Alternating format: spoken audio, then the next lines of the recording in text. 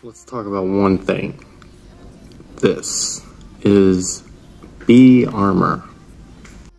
This was shown in the Glares mob vote. And this is the only one with an Easter egg like this. There's a random thing that says top secret, and then there's a bee armor.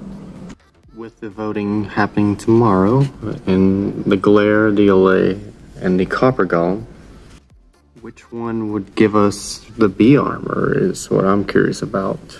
Um, I think it would probably be the glare, but we will never know.